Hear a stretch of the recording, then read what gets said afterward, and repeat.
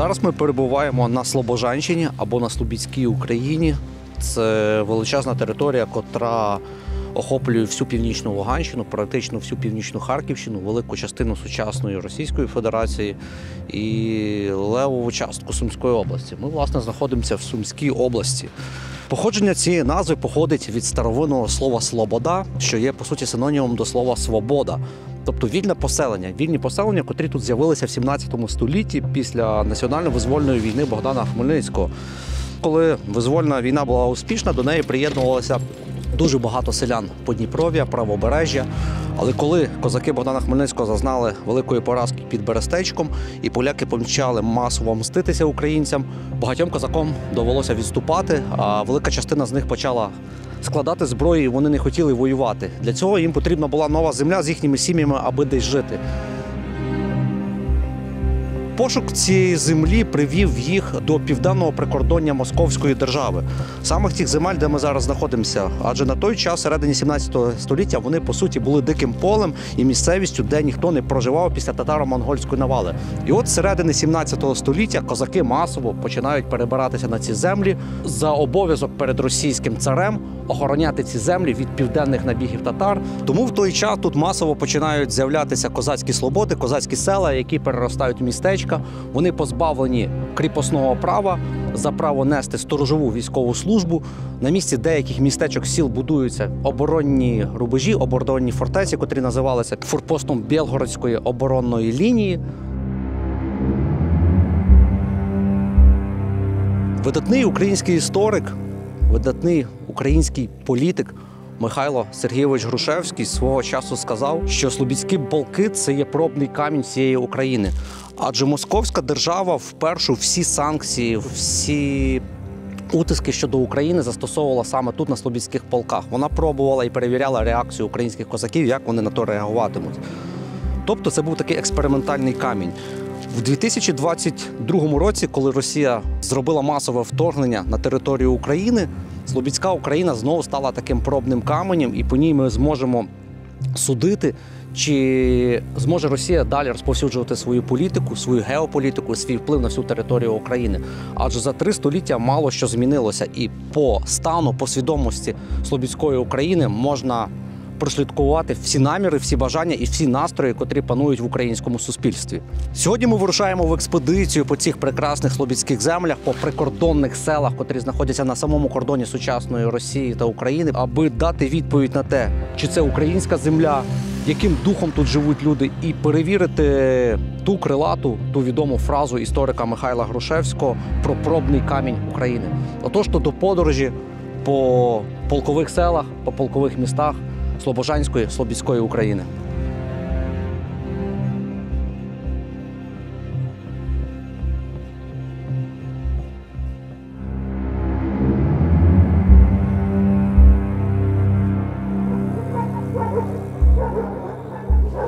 Якщо більшість переселених слобід залишалися селами на території Слобожанщини, Слобожанської автономії, так деякі переростали в міста, такі містечка промислові. І таким явним прикладом є Миропілля. Миропілля, котре складалося з переселенців тогочасної Волинської губернії Російської імперії, е, сьогоднішнього села Миропілля на Житомирщині, що на кордоні прямо з Хмельницькою областю знаходиться. І воно розрослося до масштабів третього по величині міста в тогочасної. Курській губернії, поступаючи лише Курську і Білгороду. Часом потім вже при радянській владі в 32-му році це містечко Миропіля перенесли до Харківської області, а вже в 39-му році його віднесли до Сумської області, де воно тут сьогодні знаходиться. На початку 20-го століття, в кінці 19 століття, в час його розквіту, коли тут жили прямі нащадки вільних козаків, котрі займалися промислом, населення тут за деякими історичними відомостями сягало понад 25 тисяч чоловік.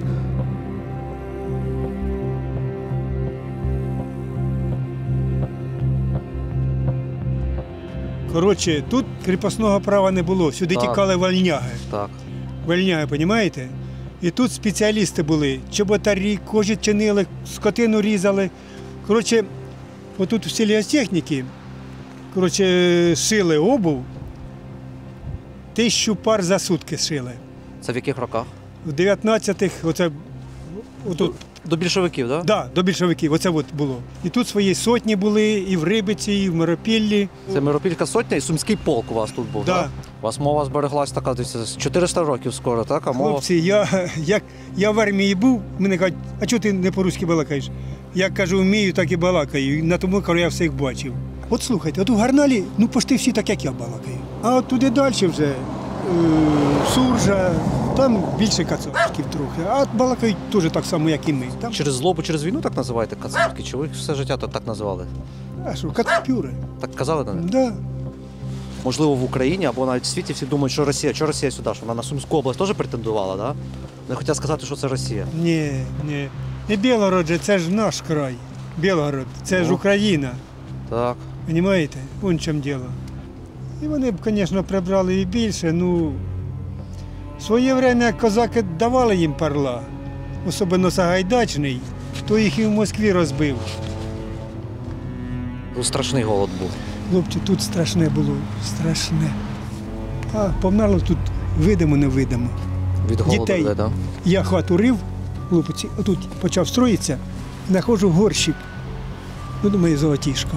Такий невеличкий, за- замотаний тряпкою. Відкриваю, а там кістки.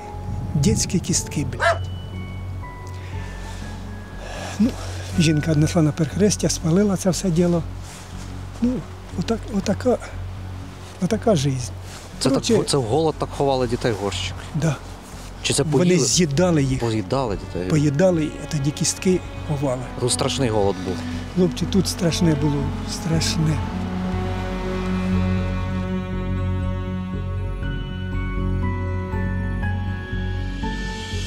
Я живу ось тут от півтора кілометра від Росії. Угу. Нас село розділяє. Так. І кожен за своєю територією дивись на Кацапщину.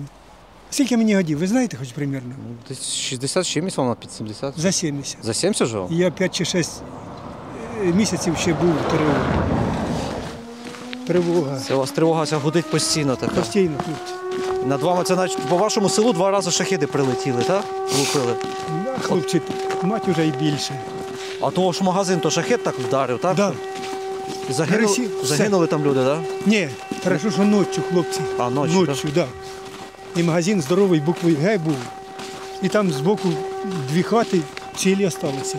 Ну, вон, дивіться, снарядом лупила.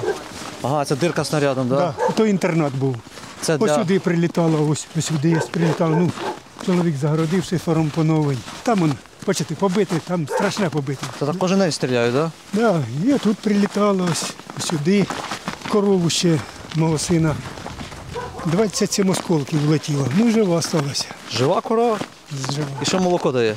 Дає. Зараз Нічого думали здавати. До вечора простояла, а тоді потрошку, потрошку не дійшла. Ото вже Росія на горбі. Да, ото хлопці Росія. Це дійсно у вас не то, що крайнє село, у вас крайня вулиця до Росії. Да. Ото Все. річка тече зразу за нами. А все туди далі, між кацапами і нами.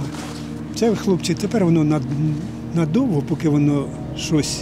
І поки оцей козьол буде, ота вишкварка, поки воно таке й буде. Поки мать не здохну, своєї землі я не покину. Що буде, те й буде, мать. Що було бачили, а що буде, побачимо.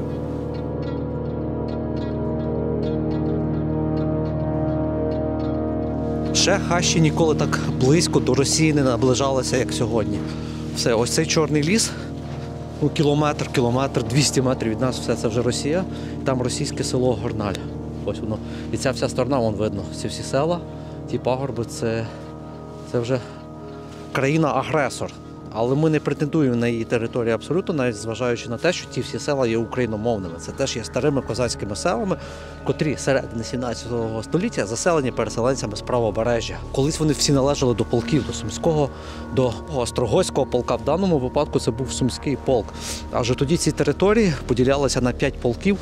І з ініціативи російської влади це саме дике поле.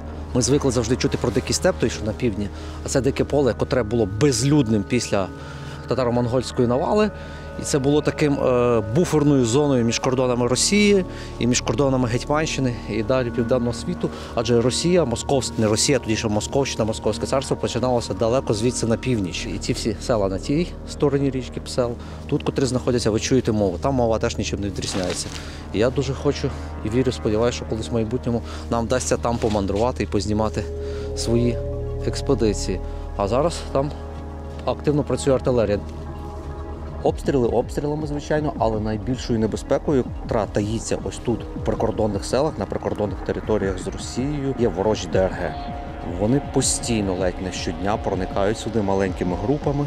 Вони роблять різноманітні диверсії, і як ви неодноразово могли чути з новин, е, вони розправляються навіть з мирними жителями. Тому тут потрібно бути дуже пильним і дивитися в два ока. Миропілля це однозначно найвражаючий населений пункт, напевно, на всій Слобідській Україні, про який найменше відомо. Тут найбільша кількість історичних пам'яток на квадратний метр чи кілометр. Аж одна зараз стоїш, і куди око не гляне, всюди старовинні 19-го, початку 20-го століття двохповерхові такі красиві будівлі. І вони всі в занедбаному закинутому стані. Вон одна будівля, друга будівля, третя будівля, четверта. І щоб вивчати їх тут все призначення, це потрібно бути місцевим краєзнавцем або місцевим істориком. Адже в кожної е, будівлі є історія. Тут ховалися або фабрики, або якісь училища, жіночі гімназії і ряд ряд ряд тих установ, які тут існували в 19-20 столітті. А сьогодні в них можна легко заходити, як в руїни цієї церкви. Миропілля свого часу було третім по значимості містом сучасної Сумської області, поступаючись лише Охтирці та Сумам. Коли в Сумах жило 10 тисяч, то тут проживало близько 7-8 тисяч населення. А ви можете сказати як офіційно, щоб ми потім людей не питали, скільки у вас лишилось місцевих? Тож до війни десь 2 Е, 2800 до війни У проживало? нас було 4189 населення по всій громаді. А, а я саме за Миропілля питаю. Да, дві- Дві- 2600 Е, десь? У Морепілі зараз десь близько ти- е, тисячі людей. Це Десь, більше майже половина людей лишилася. Да, да, да. Майже половина лишилася, так. 260 дітей зараз на даний час. А як же ж навчання в дітей? Е, Типу, да, Ви ж самі розумієте, що навчання через інтернет все, в да? 5-кілометровій зоні, навіть 25, 25 кілометрів зона від кордону е, навчання онлайн. То, але тут нормальний інтернет немає перебоїв з інтернетом. Ну, інтернет, ну коли є, звичайно, перебої, але ж його все ремонтують. Ну вони ж стріляють по вишках, спеціально нам говорили. По мобільних, ну, да? Київстару ви дивилися? Ні, ще не бачила. Ну ви можете зараз ось тут ось за, за ялинками стоїть і вишка Київстар. Її влупили з птура з першого приходу сразу в самий верх. Та ну минулого року більше літало, зараз заспокоїлось трошки, так? Ви знаєте, Ну, воно періодично. Періодично. Літає, тоді заспокоїться, потім знову відновлюється. Ну, я б не сказала, що менше. Ні, не Мгм. менше. Здравствуйте. Як ваші справи тут? Йдете десь додому чи, Да, чи з магазину? З магазину? з магазину. Як ваше життя в Миропіллі зараз? Хреново. Хріново? Да. Важко за війни? Із-за війни. А за чого ж ще? Свого часу у вас місто було таке відоме, прямо реально на всю тогочасну Курську губернію. що- Ем, да. Про, не, про це село писав навіть Ленін. Про Миропіль. А чим, як він згадував його? Тут сапожників дуже багато було. Багато сапог йшло ще ж тоді і війна, і гражданська, і всяка була. Так що знамениті ми аж не можу знамениті. У нас тут банки були. Он больниці, он, там, де стоїть школа, там був здоровий, огромний е, той, е, церква, як ще? Собор. Собор. Та тут е, пройти по цій вулиці, там оці ж старинні всі дома постройки. Оці графських і всяких там. Ну, Це довкола базара, тут в центрі таке. Да, да, базар був страшний. Ярмарки, базари. Отут річка. Іменно тут це до мосту і туди трохи далі. Причал був. У нас тут лодочна станція була. Ну це все при царю. Потім воно все. При комуністах почало занехаюватись. Все. Воно їм по- постольку поскольку війна йшла, гражданська, тоді колхози строїли, тоді війна мирова ця друга. Дорогу залізничну Да. проложили до Краснопілля. І це потиху, потихеньку, потихеньку, і, звісно, гроші сюди виділялись тоді не такі ж уже, як раніше. І пішов туди банки переїхали, туди все, начальство переїхало. Ви ж з міста стали селом. Ну, а що це тут дурню цю сочинили уже на два роки, так це А взагалі я чую, що і до 25-го року, і до 27-го, і до 30-го, так що нам оце все терпіть. Оці баханці вчора кляснуло, так хата завалилася. Не, не від снаряду, а від вібрації. У вас в хаті щось обвалилось? Обвалилась, звісно, задня хата завалилась. І справа, і зліва лягає, і на городі, і впереді, отам на сільсовет бахали. І, і все це треба пережити. І жінку теж вбили біля оцього вечірки. Тут магазин у нас все в парку є. Якраз вийшла там дрон і попало по цій Натоші. Ой, царство їй небесне, молода жінка зовсім. Нас більше цікавить, ви ж от на самому кордоні живете. Як ви все життя жили з ними з цими? З росіянами? Знаєте, що я вам скажу? Ми жили мирно, примирно, тому що я ж кажу, вони до нас, у нас базар. І вони спокон віков до нас на базар ходили, а ми спокон віков їздили у суджу, в районний їхній центр, то недалеко від нас. От. І, і що нам було ділити? Я ж кажу, що ми були одного бірня. Я знайшла свідоцтво про народження не просто про діда. Дід, прадід, прапрадід. Мгм. Курська губернія написано город Мірополія. А до цього, чого ж вони того року посунули технікою сюди? От, Посунули вони технікою. Ну що ж, тут біля нас річка, а отам з тих полів там нема. Вони посунули через поля. В Україну, чого в Україну? Думаєте, вони всі самі хочуть, чи чи чисто вони Путіна так приказ виконують? Якщо кажете, от жили мирно, мирно, Ну, мирно. Е, естественно, приказ. Ну як ми могли е, дратися, не дратися, як ми спокон віком була Курська губернія. Ну, колись так. То, ну а Але що? вони, а оті села, як вони говорять? Вони так балакають, як ви чи ні? І, Звісно. По-українськи, так? Отам через річку теж балакають так, як ми. Угу. Так, як ми. Отут на східних околицях Миропілля, е, в передмісті, котре називається Студенок, стоїть однозначно найвеличніша споруда е, с- сучасного села, колишнього міста. Це Миколаївська церква, якій збереглася ця величезна, найвища на Сумщині дзвіниця, котра вища за саму дзвіницю у місті Суми. Адже та є чотирьохярусна, це є п'ятиярусна, але бачимо, п'ятий ярус добудований, на швидше всього вже реставрований, адже він виглядає по-новому. Побудована ця церква, до речі, в 1885 році, а до цього на її місці ще з 1650-х років, коли перші переселенці з Волинської губернії приїхали сюди на освоєння цього дикого поля, вони збудували тут дерев'яну церкву. Але та дерев'яна церква в першій половині 19 століття згоріла від пожежі. І потім на її місці ось цю звали таку потужну кам'яницю. Вже, звичайно, в 30-ті, 40-ві, там 20-ті роки радянська влада намагалася знищити цю Миколаївську церкву, котра от переросла вже ще тоді в монастирський комплекс. І тоді з північної сторони їм вдалося закласти вибухівку і знищити частину цієї церкви. Велика дзвіниця теж мала підірватися, але за ініціативи голови сільської ради чи голови колгоспу тогочасного її вдалося врятувати і організувати там зерносховище. І за весь час радянської влади до розвалу радянського союзу тут були якісь такі господарські споруди. І з 90-х років тут монахи відновили свою діяльність. Ми щойно спробували знайти кількох монахів. На території нікого немає. Тому на дзвіницю нам, на жаль, не вдалося піднятися. Але вона дійсно монументальна і велична. Її видно тут на десятки кілометрів, як із Росії, так і з України. Адже вона стоїть на самому кордоні, на самому кордоні світів і цивілізацій.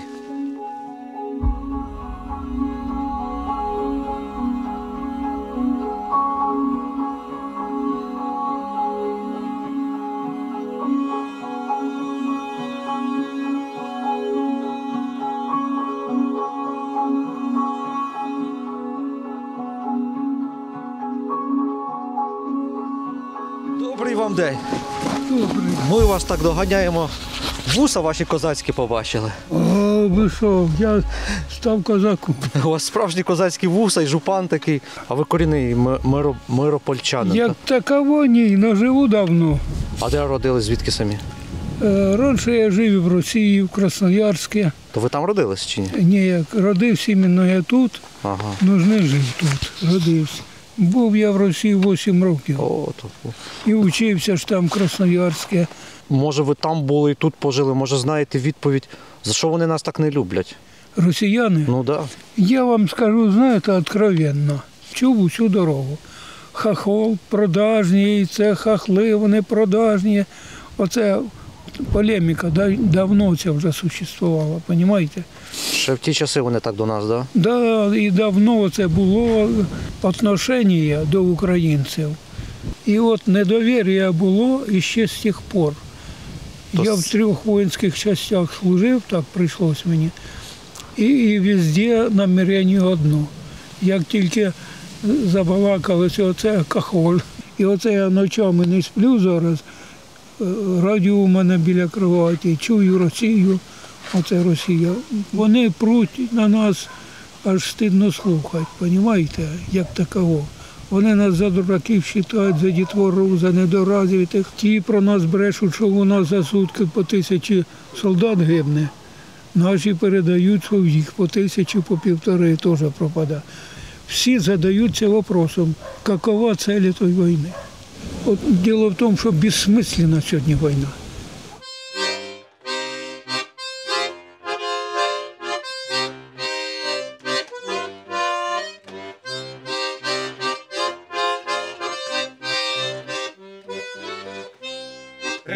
Приветствуємо! Коли, коли Всіх ж ми благ це вам. побачимо? А це у вас зі старовинних часів, що на таких санях ви як діди їздили, так і ви їздите? Діло в тому, що я всю життя проробив в лісній охрані, лісником. Так. От.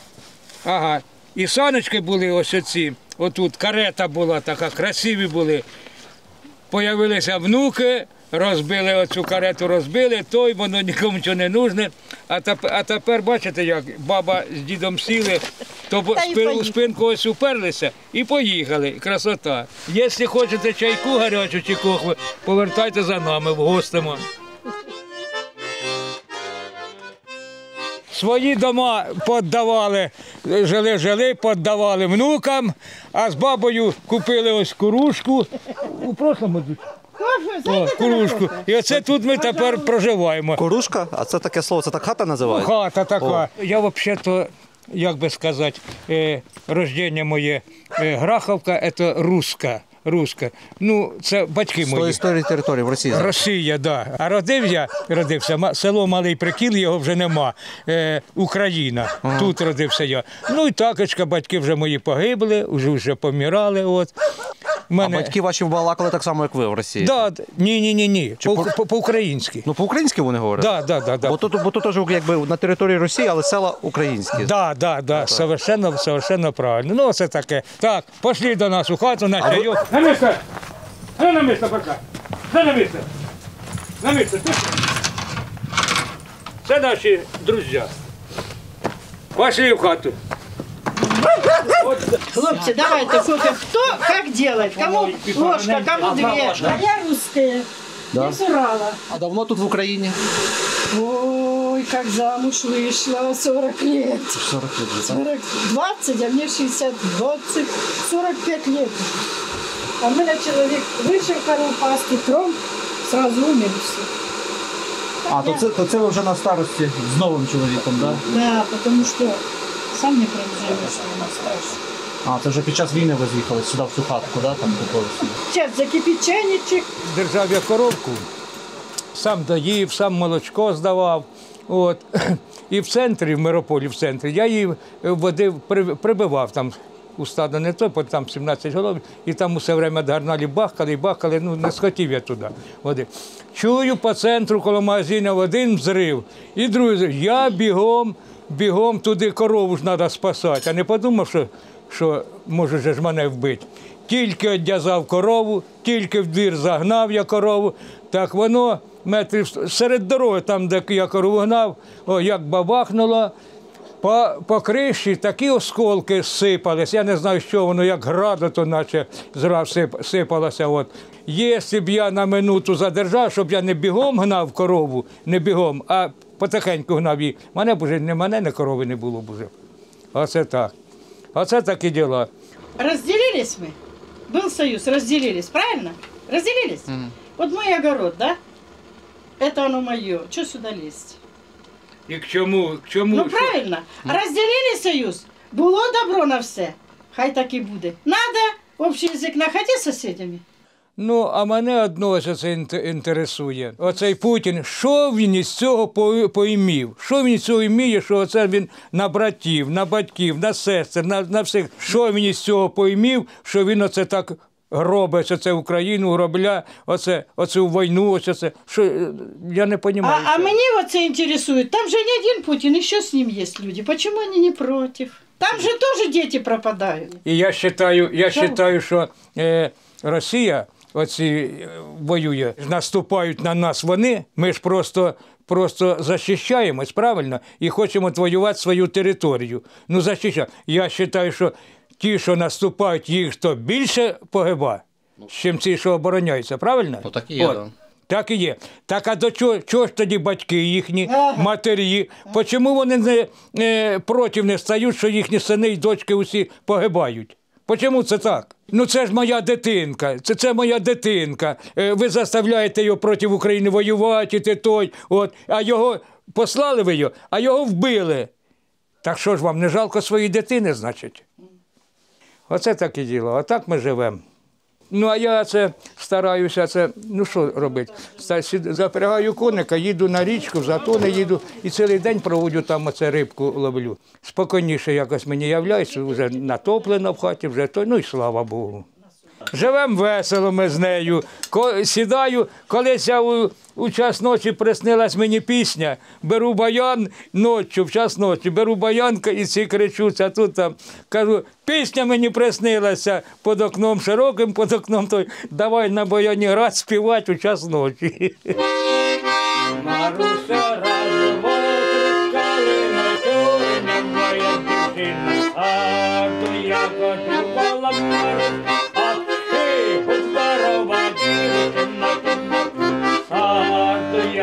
подарувала, знаю, знаю, дівчинонька, щоб я тебе обручив, що й учора, і вечора, кращу тебе полюбив мене, обшки, здорова дівчина, чи добра ну я подарувала Марусі разом,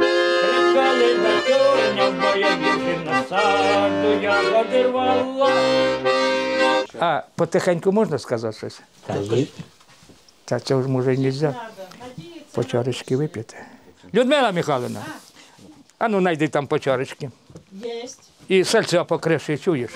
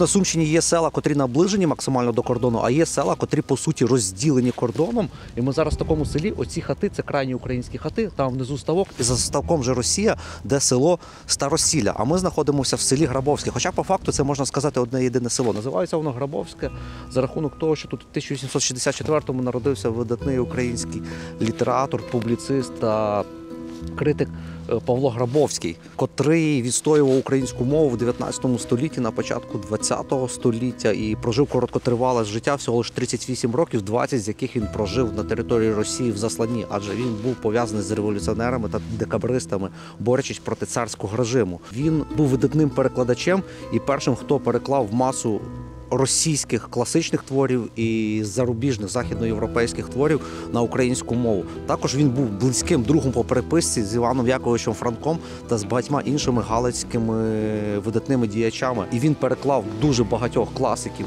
російської літератури і світової літератури з англійської мови, з французької, з німецької мови на українську мову. Саме ці переклади належать Павлу Грабовському, котрий походить теж з тих козаків, котрі в 17 столітті заселялися сюди, в ці слободи, в ці вільні села.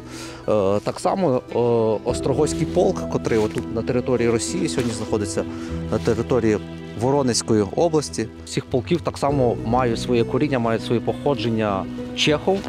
Того, що вважають російським письменником, але насправді в нього українське коріння і його прадіди, діди мали прізвище Чех, і так само звідси походить засновник українського інтегрального націоналізму Дмитро Донцов, який по свого діду, по своїх прадідах мав прізвище Донець. Його батько переїхав до Мелітополя. І сам Дмитро Донцов, родоначальник українського такого націоналізму, на котрому будували свою діяльність у Унівці, народився там на Приазові. А всі вони походять саме звідси з цього питому українського краю. Що це, ви вивозите все з садика, що лишилось? А що, щоб, щоб не розбомбили до кінця? Ти що? Приказ. Нема, нема вже надії, що діти тут будуть вчити? Ні. А куди його перевозять? Десь якісь далі? В Це у в тил? школу, в Краснопілівську. А, в Краснопілля Ну, все? там числиться ж, да. Діти. І це вже останні меблі, що залишились, так? Да? Кажуть, на все село двоє дітей, так? Ну да. А ви тут ще живете? Чи ви теж з Краснопілля? Ні, тут. Тут, тут. Будете лишатись до останнього. Та так же.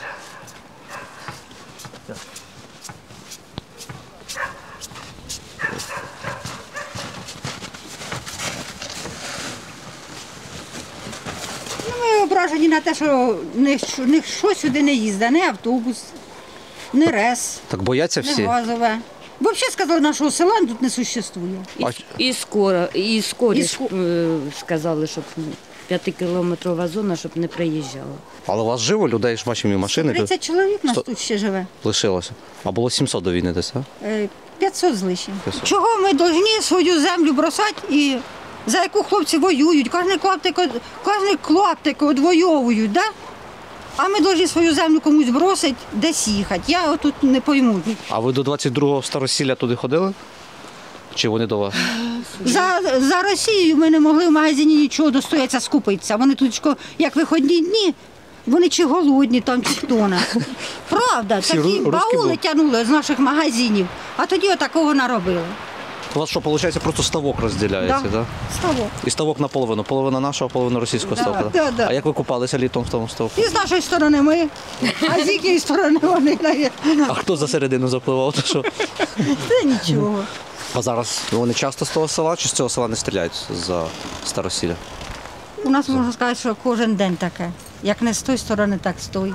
Воно що просто що летить через нас, а де воно впаде, то ми вже знаємо, ми вже орієнтуємося, чи нам тікати, чи ховатися. Ми вже всю цю обстановку за два роки. то другий раз приходить тільки чуємо. За два роки вже ми знаємо, ось скоро ж два роки.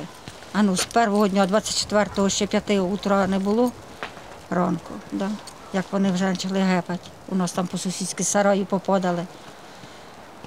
Це 24 зранку не прямо по вашому селі почали. Да. Да, А вас, зразу при... із нашого у вас села прикордонники ж почали. тут були, да, що Да, у нас же там, І вишку ж там. оце де я знесли. живу, отам, е, це ж е, прикордонна застава. Там. У перший день, вже 24-го, там, де в общем, зовсім хата зруйнована, а бабушка і не чула, хати немає, а вона лежить.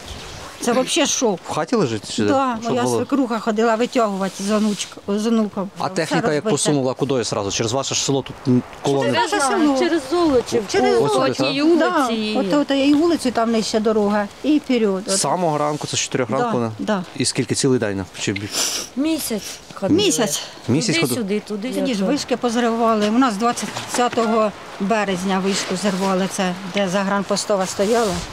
Вишку підірвали. А скільки це, якщо ми наліво тако підемо за почту, це скільки? Метрів 300? І з того, Через яр і вони вже ось.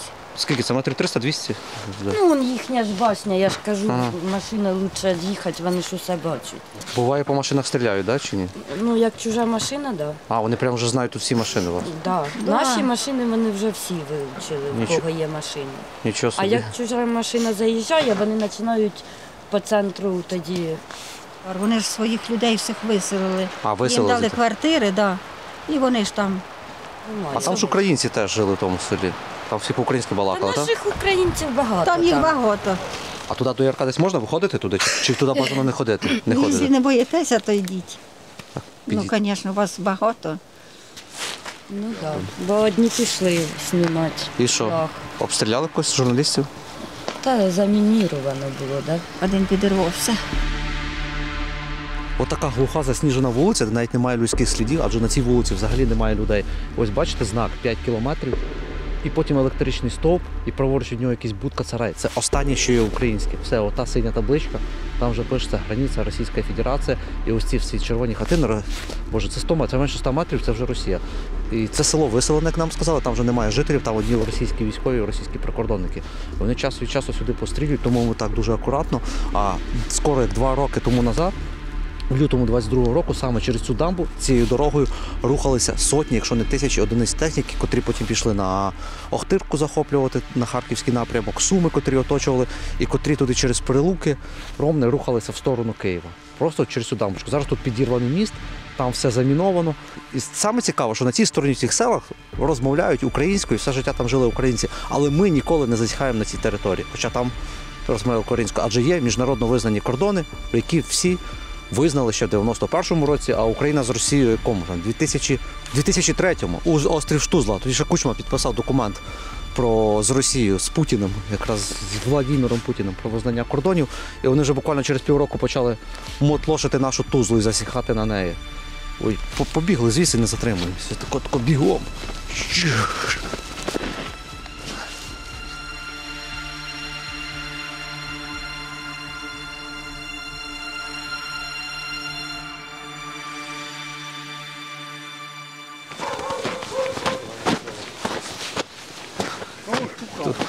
А от вас і шукаємо. Добрий день. Як вам живеться, по суті, крайня хата перед Росією? Ну а що ти, а де ти на ході? Це, це ж пуста вулиця майже, да? Це ви вже останні, хто лишились? Да, а тут там ставок, то вже все. Там ми ж були тільки що біля ставка. А, були, да. А Вони стріляють звідти деколи? Ви не ходіть туди. Та там ми так швиденько тільки що пробігли. Ага. Ми не ходимо туди.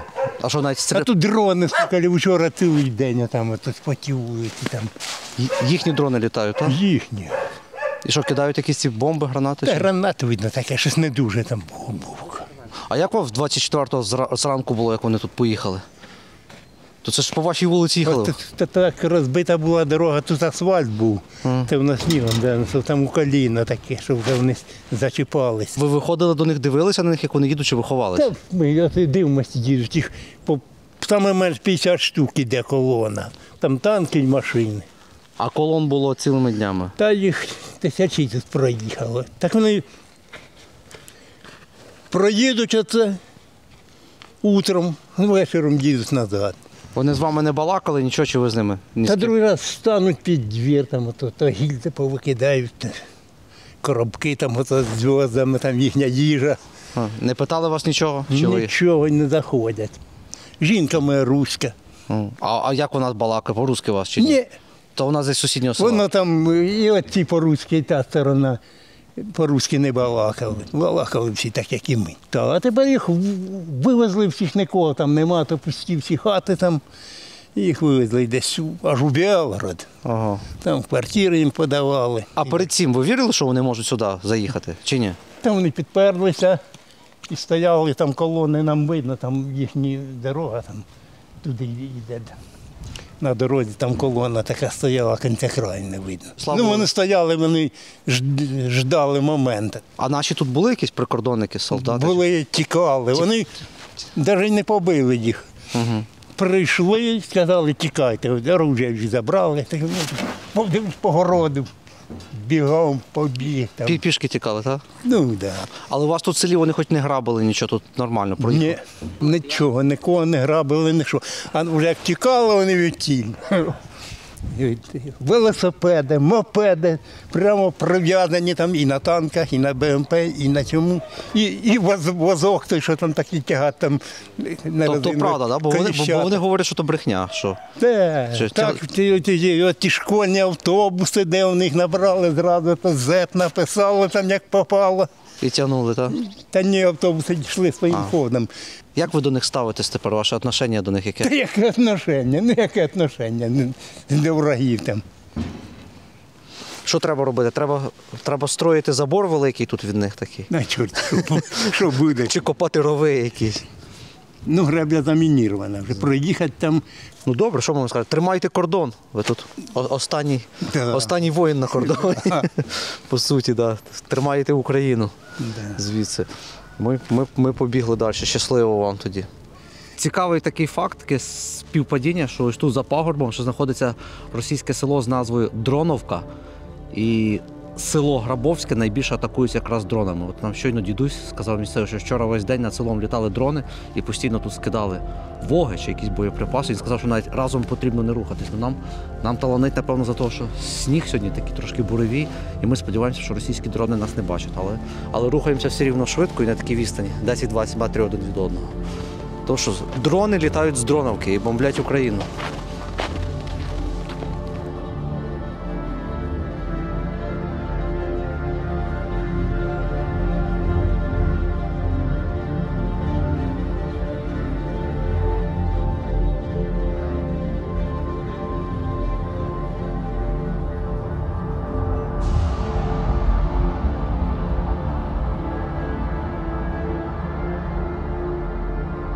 Березні 22-го ви що думали, коли ви у вас в селі були?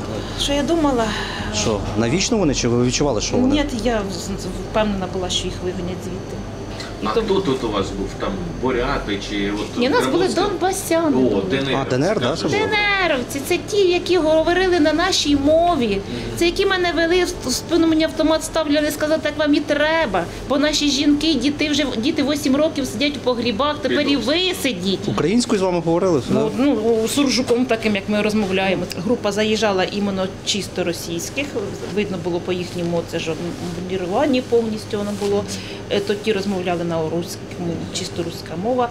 І вони, зайшли 8 вечора, і 9 вранці вони заїхали самостійно в ту школу. Ніхто нас нічого не спрашував. Вони, коли мене викликали, то вони зовсім мені не, не, не, не робили ніякого допита. В них вже все було. В них вже були вже сім'ї атовців, були, в них вже були всі е, списки охотників. В них вже все про все було. В них вже все собі. була інформація повністю за нас усіх. Були такі речі, коли вже вони виїхали, то люди пішли забирати свої речі, то дуже багато речей було якби не з нашого села. Тому я так розуміла, що вони їздили, вони ж постійно десь виїжджали і привозили награбовані речі, все в школу тут складували. І постійно його якби там відвозили, видно. Коли, а коли тікали, да, вони багато що там позалишали, що не все забрали. Але таку техніку, як от у товаристві, вони ж там вивезли такі серйозні ж, е, таку техніку, і комбайни, і трактора, і автомобілі ви- вивезли. Прямо все. Да. А вони повивішували вас російські прапори вже десь біля сільради чи ні? Ні, не вішали нічого. Вони так хотіли зняти той на флаг, цей, що висів прапор у нас. Вони його хотіли Український? так зняти. Да. Вони так не зняли. Не зняли, вони там і- як і один одного підсаджували, та така картина була така дуже смішна, але вони його не зняли той прапор, і ми його зняли, якби положили в собі в музеї, щоб думав, вистояв усі цю окупацію і- і не здався. Ні, вони прапор, вони тільки в мене в кабінеті познімали всі символіки українські, повикидали, порозбивали. І коли вони нам тут а, мене, мене визвали, сказали, що 27 березня ми тут будемо робити день села. Я кажу, який день села? Ви Да, про вони що? такі вам сказали? Так. А якого вони виїхали звідси? А 26-го вони виїхали. А вас так це вони придумали 27 Так, день села? вони Собі самі придумали. дату собі таку ви, ви, Не знаю, що просто давайте будемо святкувати день села. Кажу, чого, на що? п'янку хотіли якусь. Так вони говорять, будемо танцювати, танці будуть, будуть танці, буде весело, все буде здесь хорошо. Ребята положать автомати. Я кажу, так ніхто не прийде, коли на це, на те, на це свято. Чому? Ми їх пригонимо. Кажу, та ні, кажу, так. Хіба це день села, кажу, собі кажу, їх пригоните собі. У нас такий випадок, хлопці наші їм, їм спалили бензовоз. З ваші прямо села хтось. Виходили їх не боялися. Тільки того, що вони з оружием.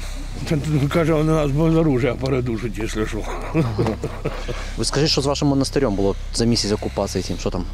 Нічого. Що там той мон- монах один робив? А Не знаю, там монах один, той, що був на кенті, він як вроді би на роботу ходив на наряд кожен день до того, у школу. До русських? До, до їхнього Ісаула, да. Ну, була підозра. В сотрудничестві. Угу. А вам за дзвони не розказували? Бо я читав, що батьки, діди, що там такі дзвіниця була. Тобі фотографію показати. Картина. Боже, то із, із картини. Оце Ряснянський монастир. Що від його залишилося оце? Ти подивіться, тут прямо А. Києво-Печерська лавра.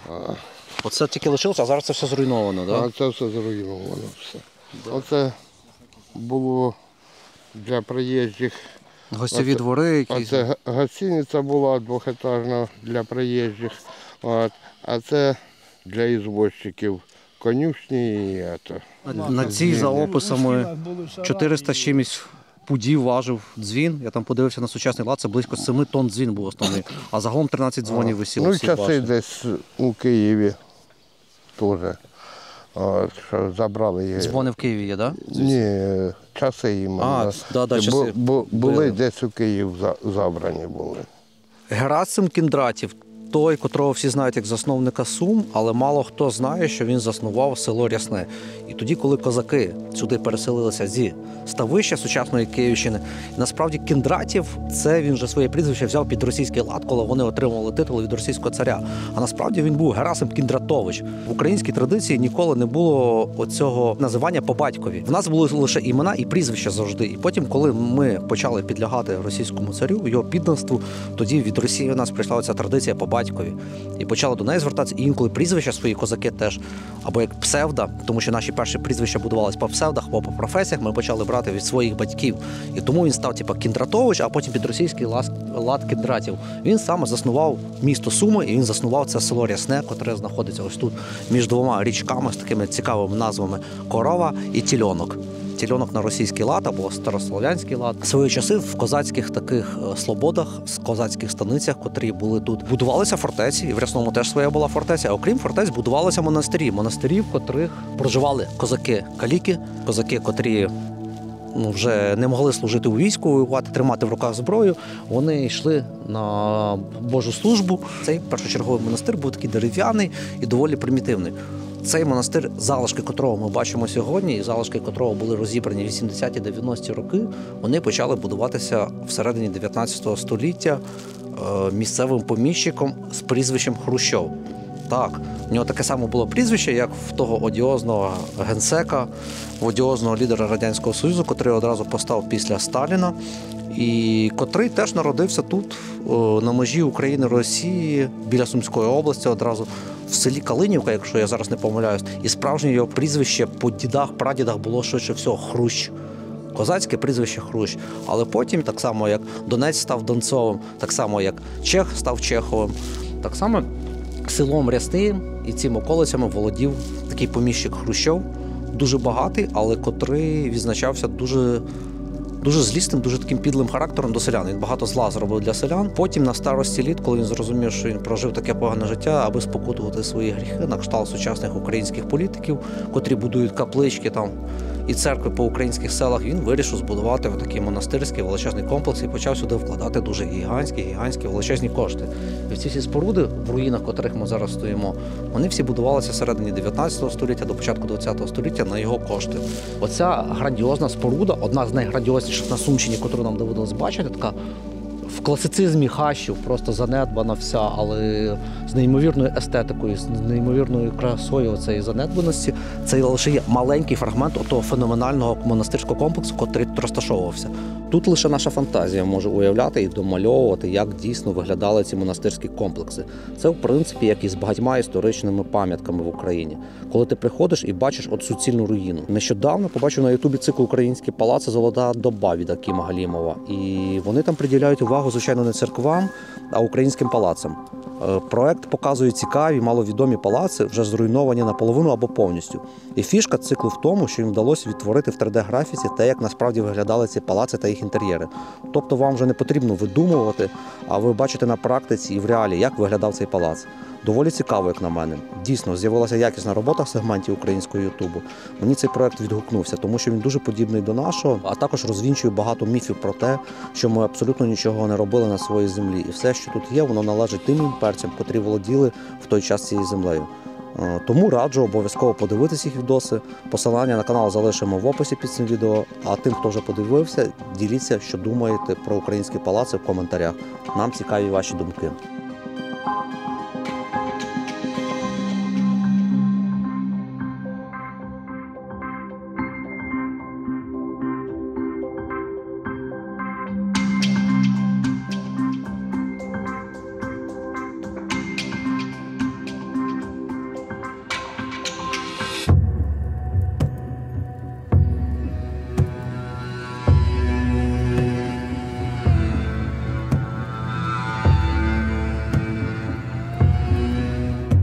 Слобідська Україна, Слобожанщина виглядає приблизно так. Ось це такі пагорби і великі такі ливади, долини, заплави. І на тій стороні, на тих пагорбах ми вже бачимо Росію, але Росія це лише юридично, тому що по факту це теж села колишнього Острогойського полку, Сумського полку, де проживають нащадки козаків українців. Так, велика частина з них русифікувалася, але самі прикордонні села досі лишаються україномовними. Але будемо чесними і відвертими, аби не лукавити, що вся Сумська область є от Слобідською такою українською. Частина колишнього Глухівського Путивлівського району Сумської області там відбувалося таке природне змішання двох народів українсько-російської. Там є ряд населених пунктів, котрі досі сьогодні розмовляють російською мовою, і там вже архітектура більш присутня. Російська архітектура, російська культура.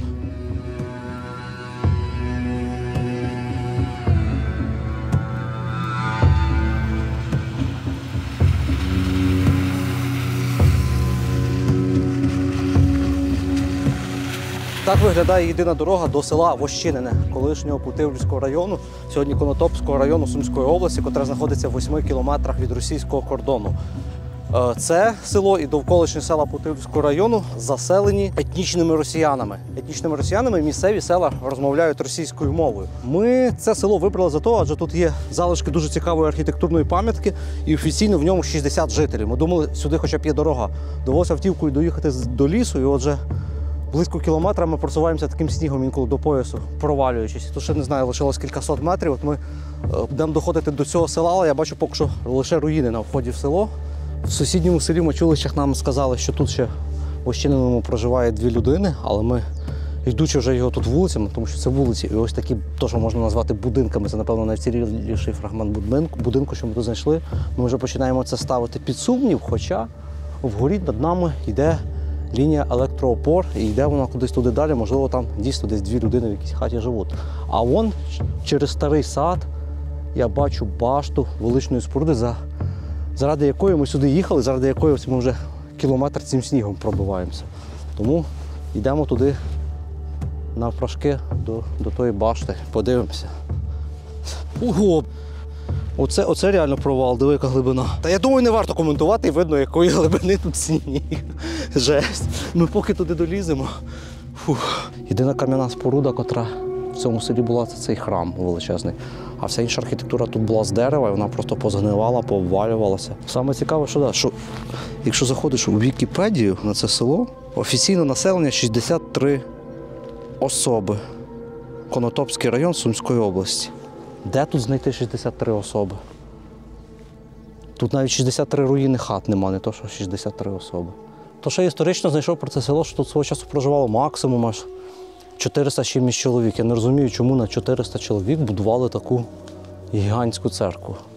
І в ній чогось такого руського не прислідковується. Ми при цим переїжджали селами, там бачили реально такі от типово російські церкви.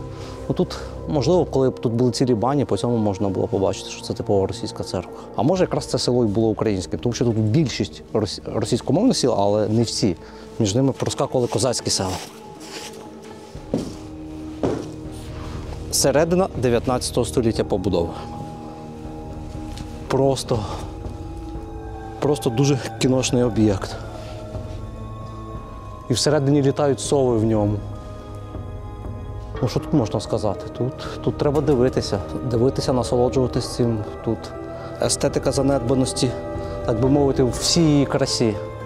І за сприятливіших умов, за якогось літнього періоду, коли не буде війни, тому що це зараз близько до кордону, радимо всім, принаймні сумчанам, побувати тут і подивитись на це. Це реально один з найвеличніших покинутих храмів, які я бачу за своє життя. Але це вже той випадок, коли навіть немає людей, в яких можна розпитати про цей храм. Ну просто хтось розбирав цеглу. Цегла старовина така, але не клеймена. Клейм на ній немає. Але щось її тут розбирали. А, ого! Та хлопці, як там ж ніша, дивіться. Там ще якась ніша, дивись. Її розібрали, щоб долізти до тої ніші. Там, напевно, якийсь сховок був. Десь там величезна така е, під підлогою і під цим така ніша. Можливо, щось від радянської влади, якісь церковні атрибутика, ну, артефакти, якісь церковні начиння там ховалося. Тому що якісь коштовності, там цінності, ну завжди всіх одразу якесь золото в голові, воно навряд чи тут могло бути. Хоча, втім, всяк, вся, всяке могло бути. Я тільки єдине, що можу сказати, як вже я знаю на запах лисиць, я чую тут запах лисиць. Тут живуть в цих дірах під підлогою церкви лисиці. Ну, може ти допоможеш? Що це таке взагалі? Це щоб ти зрозумів під фарбою шматки газет 45-го року. 45-го? І от там я тобі шматок знайду. Ого. На фронтах вітчизняної війни війська 3-го білоруського завершили розгром. Е, розгром Кенінсберзької групи німецьких військ. І 9 квітня штурмували з кріпостю головним містом Східної Прусії Кенінсбергом, стратегічно важливим вузлом оборони німців на Балтійському морі. Нічого собі. Тобто ремонт церкви робили в 40-кових роках, так? Да? Цією фарбою всі стіні воно, так? Да? Сталінської, орган центрального ти-ти-ти-ти-ти. Атеїстичними газетами поклеєний вівтар в церкві в старовині в мертвому селі на російському кордоні. Зараз піднімемося на сам верх храму. Я піднявся сюди, де дзвони були прямо по цих сходах, можна піднятися наверх. Це тут частина даху проваляна. За того, що розібрало, воно почало затікати, цегла провалилася. Таке не рекомендую комусь повторювати, сюди підійматися, адже цей свод може в будь-який момент завалитися знову.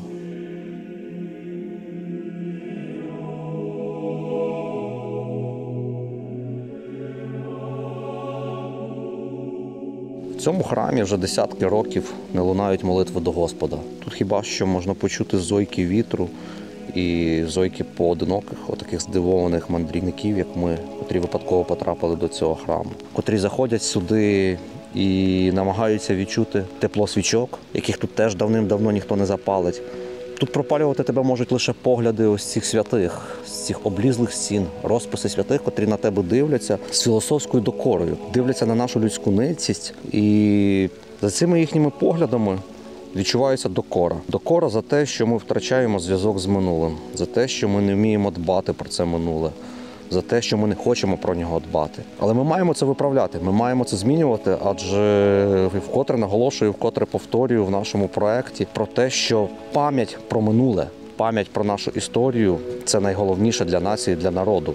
І знаєте, я до цього взагалі не готувався, але стоячи зараз тут, згадалися слова видатного сина цієї слобідської землі Олександра Олеся, котрий свого часу написав такий прекрасний вірш Вийди змучена людьми. В цьому вірші йдеться якраз про храми, котрі люди ставитимуть Богу, до поки не підуть в небо. В цьому вірші йдеться про велику любов, любов до своєї землі і про порозуміння з цим світом.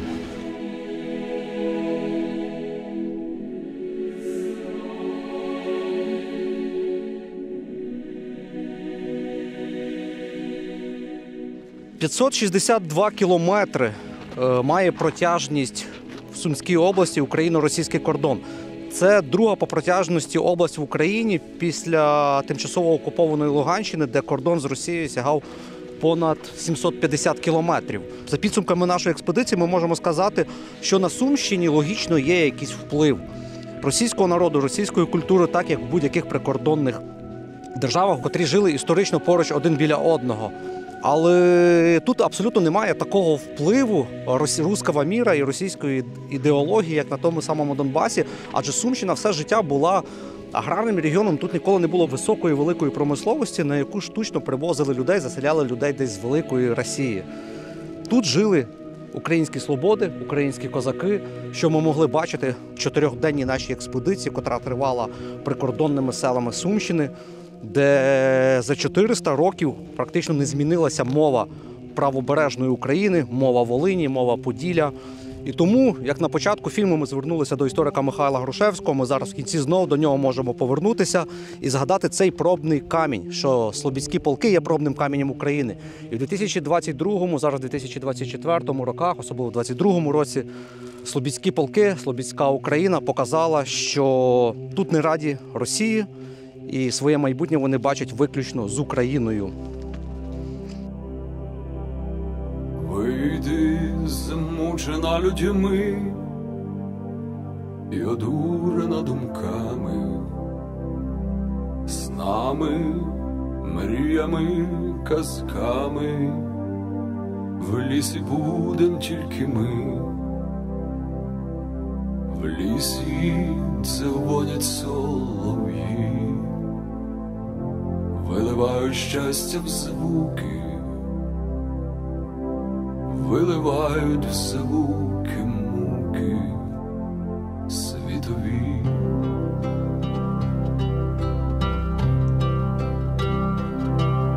З небом, з Богом я зілюсь, сяйвом вишнього з тобою, кожен нерв зроблю струногою сам я арфою зроблю, як блажен я піду, вгору кручами ярами, буду ставити тобі храми, доки в небо не